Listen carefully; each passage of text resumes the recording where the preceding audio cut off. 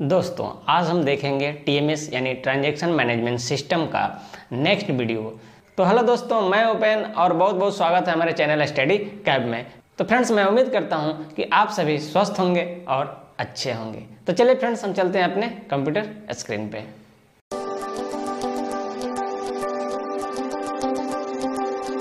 तो फ्रेंड्स आप यहाँ से देख सकते हैं कि ये आयुष्मान भारत का टीएमएस पोर्टल है, ट्रांजैक्शन मैनेजमेंट सिस्टम का।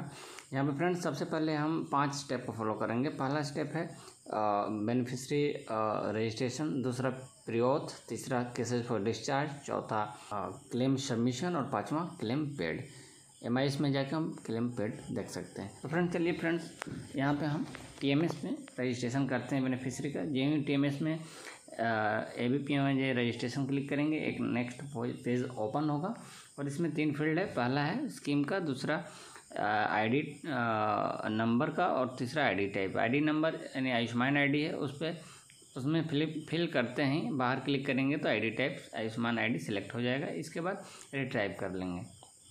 रिट्राइव करने के बाद डेटा आयुष्मान कार्ड से फेच होकर हमारे टीएमएस के पोर्टल पर चला आएगा जिससे ये प्रिया कुमारी है, छोटी सी बच्ची है, इसका आयुष्मान कार्ड से पूरा डाटा यहाँ चलाया फ्रेंड्स, इसका दो पार्ट है। रजिस्ट्रेशन का पहला पार्ट में लेफ़्ट साइड में आप देख सकते हैं, परमानेंट एड्रेस जो है आयुष्मान कार्ड से आया है और राइट साइड में ये कॉरस्पॉन्डेंस एड्रेस मांग रहा है।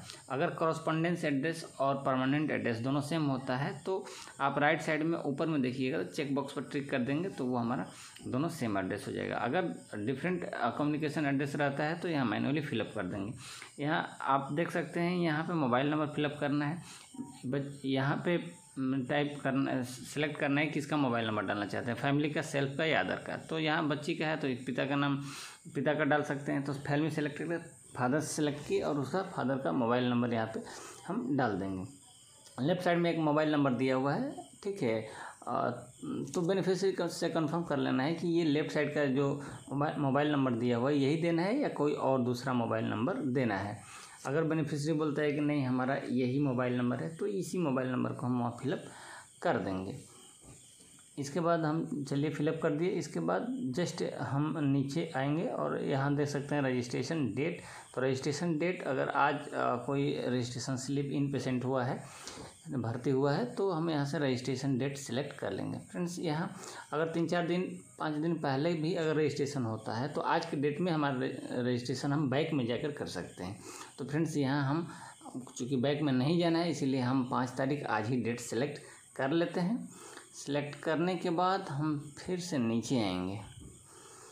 नीचे थोड़ा सा स्क्रॉल करेंगे। यहाँ कोई एक डेट सेलेक्ट कर थे जिसे मैंने पाँच सेलेक्ट कर लिया। आयुष्मान मित्र आईडी नहीं भरेंगे और नीचे दो चेक बॉक्स है, दोनों चेक बॉक्स पर क्लिक करेंगे। ठीक है। चेक बॉक्स पे चलिए, दोनों चेक बॉक्स पर ट्रिक कर दिए। और ट्रिक करने के बाद नीचे वेरीफाई एंड सबमिट का बटन है ग्रीन कलर का उस पर हम क्लिक करेंगे। क्लिक करते हैं यहाँ पे बेनिफिशरी का थम मांगेगा इन फिंगरप्रिंट ई के वाई सी करने के लिए।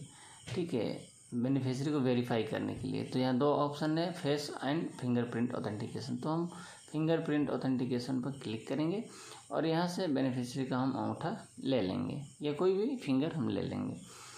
तो चलिए फ्रेंड्स हमने फिंगरप्रिंट लिया और पुट योर फिंगर आया और कैप्चर भी सक्सेसफुल हो गया।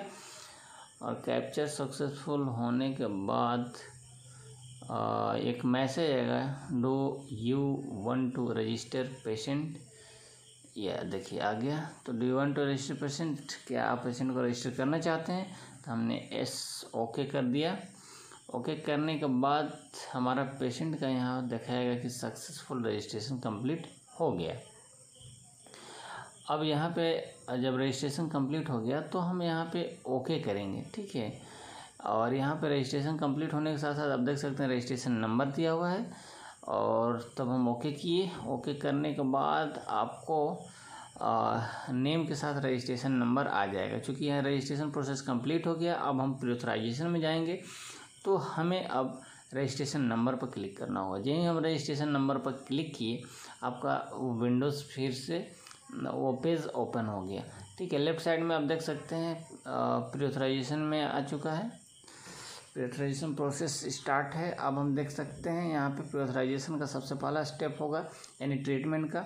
पेशेंट में पेशेंट को किस स्पेशलिटी में भर्ती करना है? तो एक्चुअली अगर पेशेंट को एसिडिटी है या गैस का प्रॉब्लम है। इसमें हम वही पैकेज बुक करने जा रहे हैं। तो इसके लिए कौन सा स्पेशलिटी चूज़ होगा? तो हम यहाँ जनरल मेडिसिन सेलेक्ट कर लेंगे, ठीक है स्पेशलिटी में और प्रोसीजर में। प्रोसीजर में जनरल मेडिसिन किस चीज़ का, किस, ये मेडिसिन जो है, किस चीज़ को क्योर करेगा, किस चीज़ का इलाज करेगा? तो जनरल मेडिसिन में हमने यहाँ चूज़ कर कर, इसके बाद हम चाहते हैं गेस्ट्रोलॉजी। तो गेस्ट्रोलॉजी का एक पैकेज होता है, उसको हम यहाँ पे सिलेक्ट कर लेंगे टाइप करके। ये प्रोसीजर सिलेक्ट होते हैं, ठीक है? यहाँ पे प्रोसीजर ऐड होने का ऑप्शन आ जाएगा। देखिए यहाँ पे लोड हो गया क्लिनिकल नोट बोल रहे हैं क्लिनिकल नोट डालने के लिए। चलिए, हम क्लिनिकल नोट को हम यहाँ पे ऐड प्रोसीजर करते हैं।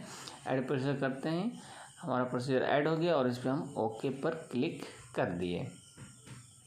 अब चलिए यहाँ पे देख सकते हैं फ्रेंड्स, यहाँ पे हमारा अमाउंट नहीं डाला है। क्योंकि हम स्पेशलिटी सेलेक्ट कर लिए प्रोसीजर सेलेक्ट कर लिए तो भाई हमको तो पेशेंट को रूटीन वार्ड में भर्ती करना पड़ेगा, क्योंकि ये योजना ही भर्ती करने वाला है इन पेशेंट के लिए। तो चलिए एक्शन के जस्ट नीचे दो आइकन दिया हुआ है और एक क्रॉस दिया है। क्रॉस मतलब वहाँ से कट कर सकते हैं, ये स्पेशलिटी कैंसिल हो जाएगा, दूसरा चूज़ कर सकते हैं। और दो आइकन में से एक आइकन एक्टिव है एक्शन लेने के लिए। चूँकि भर्ती हमको करना है तो एक्शन का जस्ट लेफ़्ट साइड वाला जो आइकन है, उस पर हम क्लिक करेंगे और उसमें हमको स्ट्रेटिफिकेशन का ऑप्शन आ जाएगा। यानी बेड कैटेगरी वगैरह आ जाएगा। बेड कैटेगरी में बहुत सारे ऑप्शन होते हैं, जैसे रूटीन वार्ड होता है आईसीयू होता है एचडीयू होता है। तो हम चूँकि जनरल मेडिसिन के अंतर्गत हम सिर्फ़ रूटीन वार्ड ही हम इसको सिलेक्ट करेंगे और सिलेक्ट करने के बाद हम ऐड कर देंगे। ऐड करने के बाद ओके ऑप्शन आ जाएगा स्टेटिफिकेशन एडेड सक्सेसफुली ओके करेंगे और नीचे क्लोज का बटन है, उसमें क्लोज कर देंगे। अब देखिए फ्रेंड्स यहाँ अठारह सौ का पैकेज आ गया। यानी ये जनरल मेडिसिन स्पेशलिटी में जो गेस्ट्रोलॉजी का पैकेज है, वो अठारह सौ रुपये का है।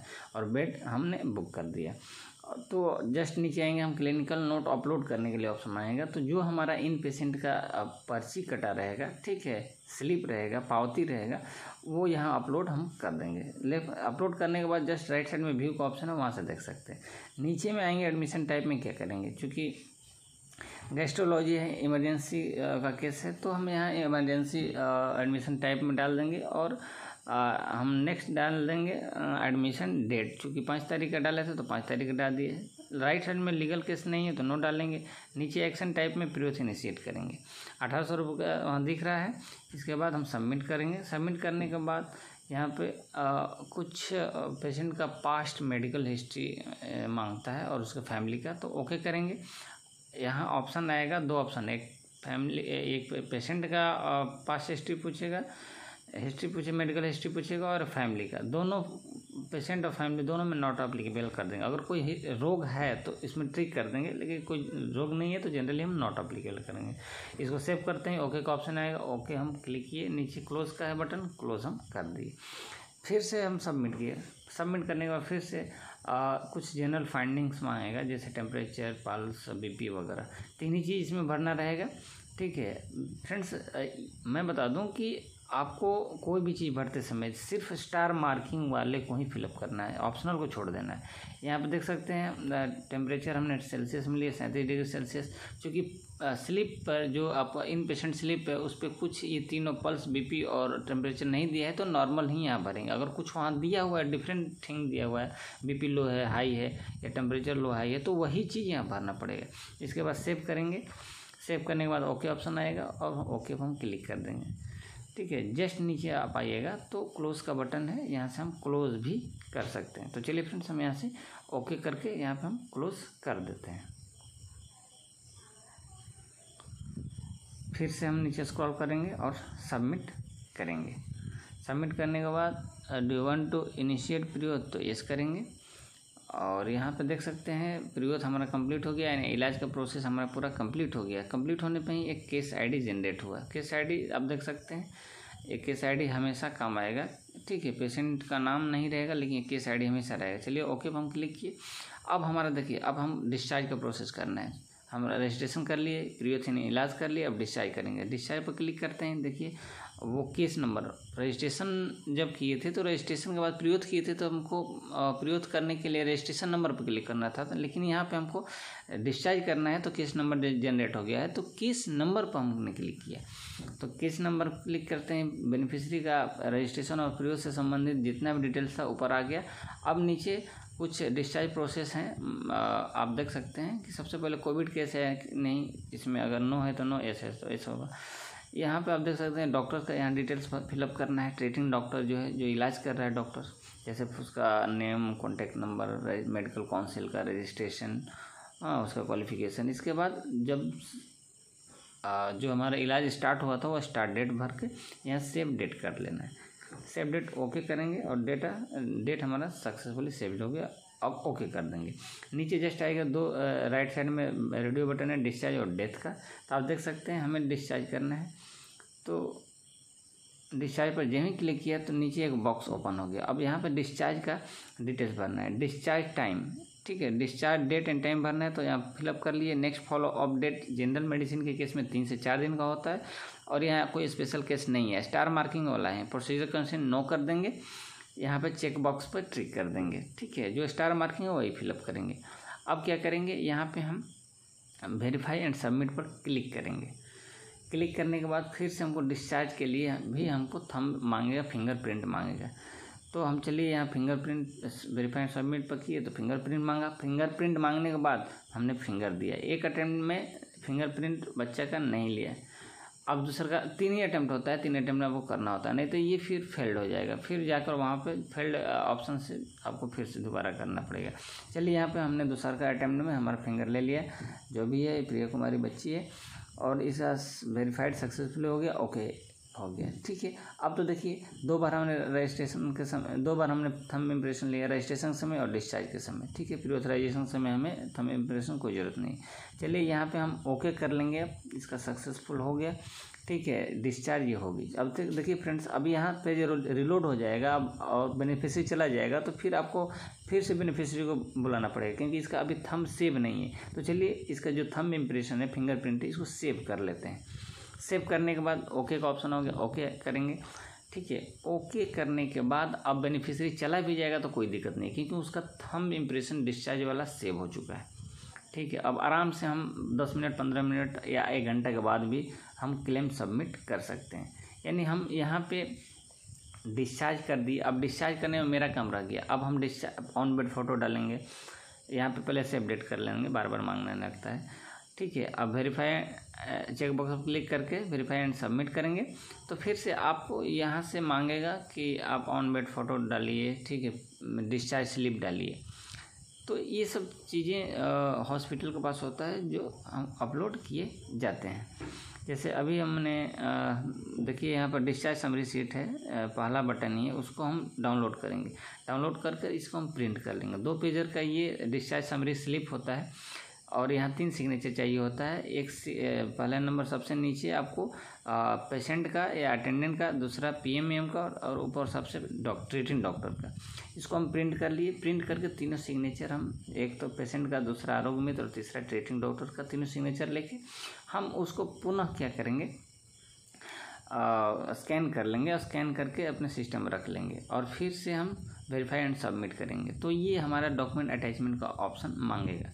आ जाएगा। अब यहाँ से हम ऑन बेड फोटोग्राफ ऐड कर लेते हैं। चलिए, जो पेशेंट है उसका ऑन बेड फोटोग्राफ हमने ऐड कर लिया। ऑन बेड फोटोग्राफ डालने के बाद यहाँ अपडेटेड दिखाएगा। इसको ओके कर दिए। ठीक है, और जस्ट नीचे में आपका स्टार मार्किंग है डिस्चार्ज समझ सिर्फ़। यानी डिस्चार्ज जब से दीजिएगा नहीं, आपका आगे प्रोसीजर होगा नहीं प्रोसेस होगा ही नहीं। ठीक है तो चलिए फ्रेंड्स हम डिस्चार्ज करने से पहले जो सिग्नेचर हमने कराया है तीनों जगह, वो हम देख लेते हैं कि ये करा लिया सक्सेसफुल हाँ देखिए, तीनों जगह हमने सिग्नेचर करा लिया है स्कैन करके रख लिया है, ठीक है। अब इसको हम डिस्चार्ज समरी स्लिप की जगह भी अपलोड कर देंगे। फ्रेंड्स बहुत सारे संस्थान में अपना डिस्चार्ज समरी स्लिप होता है तो वो भी आप कर सकते हैं, इसमें कोई दिक्कत की बात नहीं है। बट अगर डिस्चार्ज समरी स्लिप नहीं मिले तो आप यहाँ से कर सकते हैं। लेकिन अंगूठा लेने के बाद ही आप डिस्चार्ज समरी स्लिप डाउनलोड करके सिग्नेचर करवाएँगे। यहाँ चलिए, हमने सबमिट कर दिया। फिर सबमिट करने के बाद जस्ट नीचे आएँगे तो नेक्स्ट नेक्स्ट नेक्स्ट करते जाएँगे। तब तक करेंगे जब तक प्रीवियस का बटन आ जाए। इसके बाद जस्ट नीचे क्लोज कर देंगे इस ऑप्शन को। क्लोज करने के बाद फिर से वेरीफाई एंड सबमिट करेंगे। यहाँ से वेरीफाइड हम सबमिट करेंगे तो ये डिस्चार्ज का प्रोसेस अब लगभग लगभग ख़त्म होने वाला है। अब do you want to initiate claim तो हाँ क्लेम इनिशिएट करना चाहते हैं तो ओके हम क्लिक कर दिए। ठीक है ओके करने के बाद just a few moment later अब बोल रहे हैं कि क्लेम इनिशिएशन के लिए बोल रहा है तो ओके कर दें हाँ हम क्लेम इनिशिएट करना चाहते हैं। अब क्लेम इनिशिएट करने के लिए जब ही एस करेंगे ओके करेंगे। तो हमारा जस्ट क्लेम